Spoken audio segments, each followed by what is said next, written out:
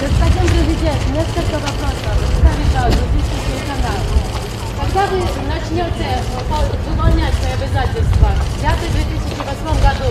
Можете ответить на наш вопрос? Когда придут войска из оккупированных территорий Грузии? Можете? Мариан. Мариан.